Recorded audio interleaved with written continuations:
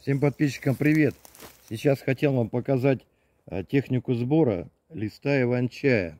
Иван-чай это растение ценное, из которого получается чай, а, капорский чай. А техника сбора очень простая. Мы пошли на прогулку, я сейчас покажу. Есть небольшие заросли здесь иван-чая. Как его собирать, как лист заготавливать.